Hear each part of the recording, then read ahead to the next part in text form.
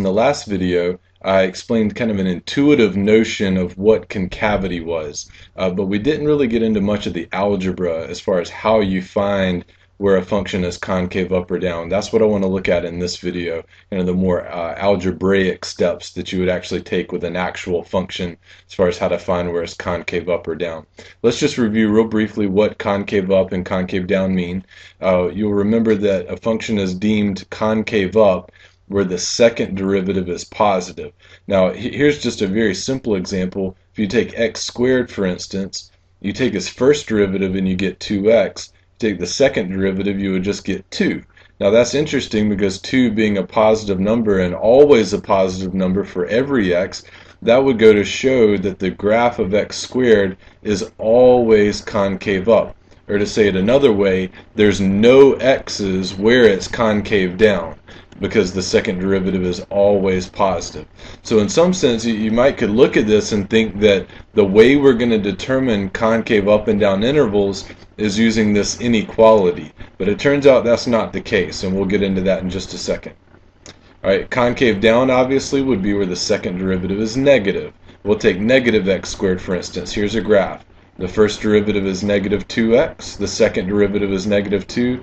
That is always negative. So you see, sure enough, in this graph here, this graph is always concave down. And so uh, this is a totally concave down function. There's no intervals where it's concave up and then concave down. Now here's where the, the idea of the inequality breaks down. The idea of the inequality is totally true, but if you were to try a harder example, the inequalities do not work well. So in theory, it's a good idea because technically concave up is where the second derivative is greater than zero or the second derivative is less than zero if it's concave down.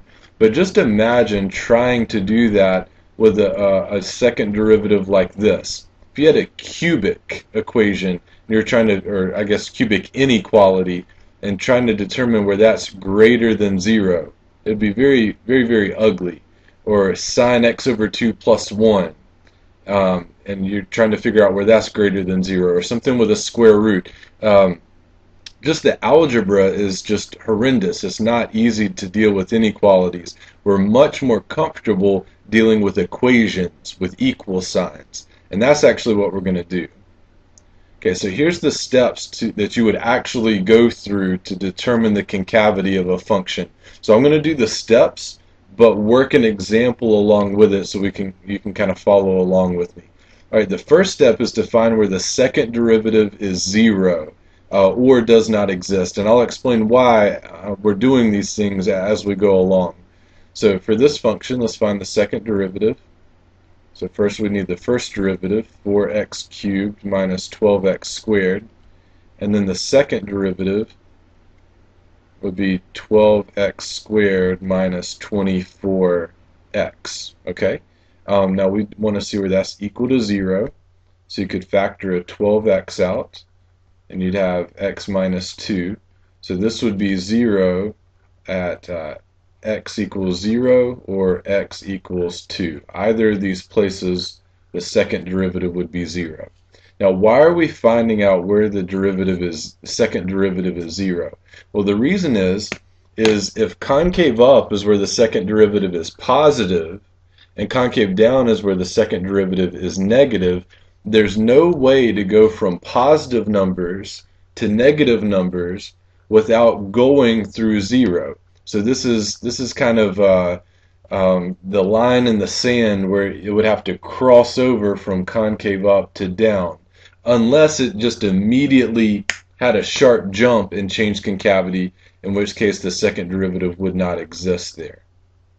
Okay, so what we're going to do is we're going to take the 0 and the 2, we're going to put them on a number line. Now these two places are where the second derivative equals 0. And what we're going to do next is we're going to test the concavity in each subinterval. Subinterval are the intervals between these points. Okay, so we're going to do that by using test points. We'll try something before 0, like negative 1, something between 0 and 2, maybe like 1, and something after 2, like 3, for instance. So we're going to take these, minus 1, 1, and 3, plug them in the second derivative, and just see what, what we get. So um, here's the second derivative. Either of these could really be used. Now a little tip for you, I like using the factored form. Uh, the reason is, is I don't really care what numbers I'm going to get right here. I care what the signs are. So if you have it in factored form, you can just look at the products of positives times negatives or negatives times positives. Let's, let's try this with negative 1. 12 is a positive, times negative 1 is a negative. negative, negative 1 minus 2 is a negative, so a positive times a negative times a negative would give you a positive answer. I don't really even care what the number is. So back here, if the second derivative is positive, that means that it's concave up, concave up, positive second derivative. All right, between 0 and 2, if you try 1, a positive times a positive 1 is a positive. 1 minus 2 is negative. So a positive times a positive times a negative, well, that's uh, negative. I don't really even care what number that is. This will be concave down because of this negative second derivative. If we try 3, a positive times a positive 3 times a positive 3 minus 2 is 1. That'll give you a positive. And this would be concave up again. Right? Now, in case you're uh, concerned how one test point can be the definitive representation of the concavity inside the entire interval, if it ever switched, let's say right here is concave down at 1, what about at 1.5? If it switched from concave down to concave up in that little interval, we would expect between 1 and 1.5 the second derivative to be 0 somewhere in between there, but we found all those places. So there are no other places where the second derivative is zero other than these two places. So we can be sure that each of these test points is a true representative of the entire uh, of the entire subinterval there. So um, we have a concave up interval, um, and you, uh, you, would probably want to write your final answer something like this, or I'll squeeze it up here in the corner. Uh, concave up, uh, excuse my abbreviation here, you say from negative infinity up to negative 1, and then union, that means joined with 3 to infinity. Okay, so those are those two intervals that are concave up. And again, pardon my abbreviation, concave down would be from 0 to 2. And we leave these intervals open. You don't put closed brackets. Uh, it'll be open intervals where it's concave up or down.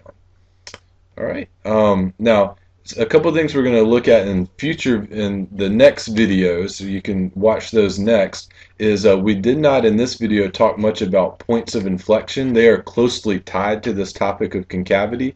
And the places where the function changes concavity from up to down or down to up is called a point of inflection.